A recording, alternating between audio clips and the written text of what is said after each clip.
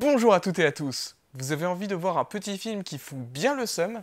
Dans ce cas-là, je vous conseille de regarder The Lord of War par Andrew Nichol.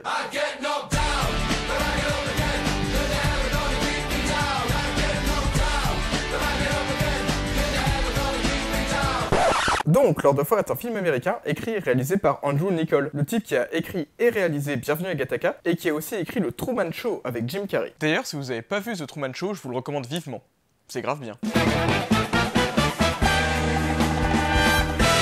Le film nous raconte l'histoire de Yuri Orlov, un Ukrainien dont les parents ont quitté l'URSS pour les États-Unis. Ils vivent dans le quartier de Little Odessa à Brooklyn, un quartier très pauvre et très violent. Un jour, Yuri, dont la seule envie est de quitter le quartier, décide de devenir marchand d'armes. Parce que pourquoi pas? Le film nous raconte la vie de Yuri en tant que marchand d'armes, ses débuts difficiles à Brooklyn, sa montée en puissance suite à la chute de l'Union soviétique, son apogée et sa chute causée par un agent d'Interpol. D'ailleurs, on va pas rentrer dans le délire de mais les agents d'Interpol ça n'existe pas, c'est une base de données Interpol. Parce qu'on est au-dessus de ça. Tout d'abord, ce qui m'a fait kiffer le film, c'est son atmosphère. Le film est d'un cynisme qui le rend carrément glaçant par moments. Et il nous plonge dans une réalité froide et brutale, celle de la guerre et du trafic d'armes. Une réalité sur laquelle on préfère tous fermer les yeux habituellement. Le film nous fait directement entrer dans le vif du sujet d'une manière que je trouve extrêmement percutante. Il commence par ce plan. Un long travelling sur un champ de balles immense, puis la caméra se redresse, un homme de dos, et cette phrase d'un cynisme. There are over 550 million firearms in worldwide circulation.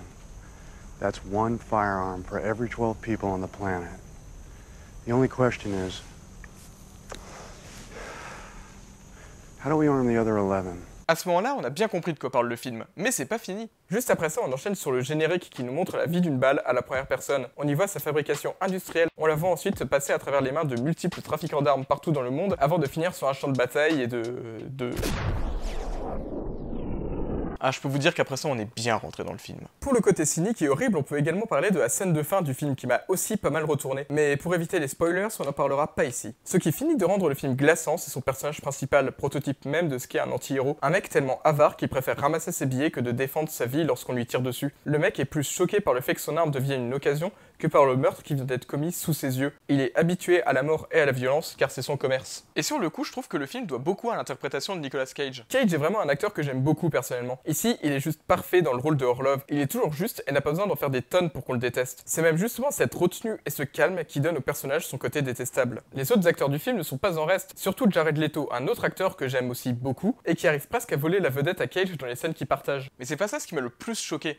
Ce qui m'a le plus choqué la première fois que j'ai vu le film, c'est que tout est vrai. Avant d'écrire le film, Nicole a fait un gros travail de recherche sur le monde du trafic d'armes, à tel point qu'il est entré en contact avec plusieurs trafiquants d'armes afin d'en savoir plus sur ce métier et de coller le plus que possible à la réalité. Au final, le personnage de Yuri est inspiré de 5 trafiquants d'armes bien réels, et notamment de Victor Bout, un trafiquant d'armes russe dont Nicole a repris beaucoup d'éléments biographiques. Pour citer Nicole, presque tous les événements du film ont un précédent réel. Des hélicoptères de combat ont été vendus comme engins destinés à des interventions de secours, des trafiquants d'armes ont bien changé le nom et les paramètres d'enregistrement de leur bateau une fois en mer, un célèbre trafiquant d'armes a été libéré des prisons américaines après de pressions mystérieuses. Des stocks d'armes soviétiques ont été pillés après la chute de l'URSS. Tout ça est avéré. Ce que l'on voit, c'est la réalité telle qu'elle est en vrai. Faut vraiment que je m'achète du vocabulaire parce que ça devient très compliqué d'exprimer des idées très simples. Pour vous dire à quel point le film se veut réaliste, toutes les armes montrées dans le film sont vraies. Même les putains de chars d'assaut. Le fait de savoir tout ça en regardant le film donne vraiment une impression dérangeante, celle d'être face à une réalité qu'on aurait préféré ignorer. Le film nous plonge dans le quotidien de ces hommes de l'ombre qui rendent la guerre possible. En voyant le film, on réalise vraiment bien que bah, le monde c'est de la merde. Cependant, malgré tout ça, la cible principale qu'attaque Nicole avec ce film, ce n'est pas les trafiquants d'armes. En effet, ce que montre réellement Nicole avec ce film, c'est le rôle que jouent les grandes puissances militaires dans le trafic d'armes mondial. Mais bon, tout ça on peut difficilement en parler sans spoiler la scène de fin du film, et j'ai pas envie de le faire, alors je vous laisse la découvrir par vous-même. En fait, si je vous parle de ce film aujourd'hui, c'est surtout pour l'impact qu'il a eu sur moi. Quand j'ai vu le film pour la première fois, j'avais 14 ans. J'étais en train de me construire en tant que cinéphile et j'étais totalement dépolitisé. Pour moi, le cinéma était un divertissement sympa, un moyen de passer une heure et demie tranquillement au fond de son canapé. Ce film me fait réaliser que le cinéma c'était plus que ça.